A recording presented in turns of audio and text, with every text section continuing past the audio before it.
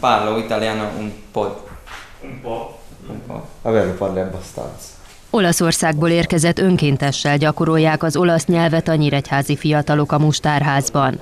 Ettől az évtől ugyanis újraindult az a program, ami 2007-től színesíti a Mustárház kínálatát. Az Erasmus Plus Európai Önkéntes Szolgálat keretein belül külföldi önkéntesek érkeztek Nyíregyházára, akik a fiataloknak szóló rádióműsorok mellett részt vesznek a helyi diákok nyelvoktatásában is. Előzetes bejelentkezést követően ingyen gyakorolhatják az olasz, a spanyol, az angol és a francia nyelvet a nyíregyháziak.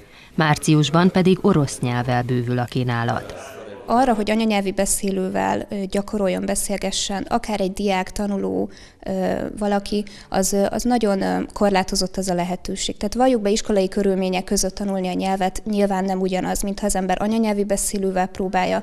Arra nem mindenkinek van lehetőség, akár hosszabb, rövidebb időre külföldre látogasson, így ezért ezt kényelmesnek tartjuk, hogy ha már itt vannak a, a nemzetközi önkénteseink, akkor tudnak ebben is segíteni.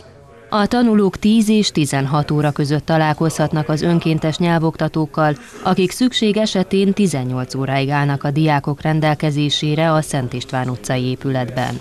Nagyon fontosnak tartom a nyelvtanulást, mert, és a nyelvklubokat is, mert rengeteg új barátokat is ismertek meg, és rengeteg tapasztalat gazdagít engem a nyelvtanulás, és ezt fel tudom hasznosítani a jövőben akármilyen téren is. A nyelvgyakorláson kívül a nyíregyházi fiataloknak helyi és nemzetközi programokat is kínál az önkormányzattal feladatellátási szerződésben dolgozó mustárház. Segítőik minden évben megrendezik a városban a központi ballagást, segítenek a kapcsos könyv hagyományainak ápolásában, irodalmi délutánokat és kiállításokat szerveznek, valamint rendszeres bemutatkozási lehetőségeket kínálnak amatőr zenekaroknak. A fiatalok részt vehetnek nemzetközi ifjúsági csereprogramokban is.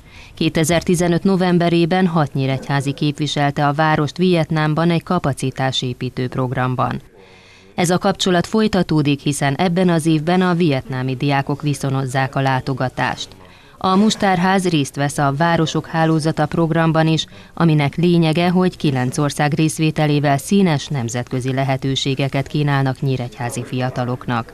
2016. júliusában nemzetközi ifjúsági cserén gyakorolhatják a nyelveket és fejlesztetik készségeiket a város diákjai.